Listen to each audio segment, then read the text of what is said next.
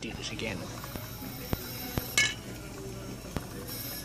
Whoever thought that doing it would do that?